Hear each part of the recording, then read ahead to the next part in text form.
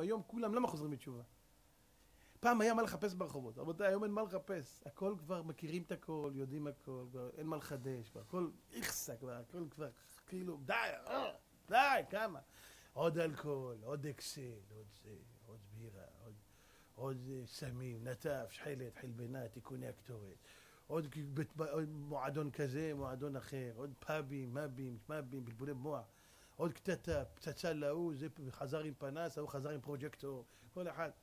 די, כאילו זה פסה, די, כבר. אה! אנשים באים, בואי נתן משהו.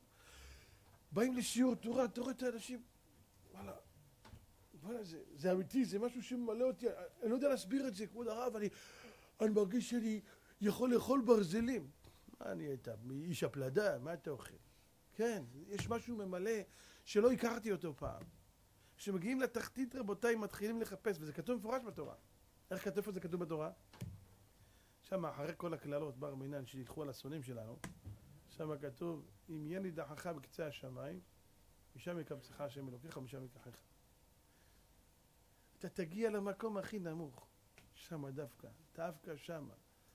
איך כתוב שם? לא הפסוק הזה, כתוב, בצר לך ומצאוך כל הצרות האלה.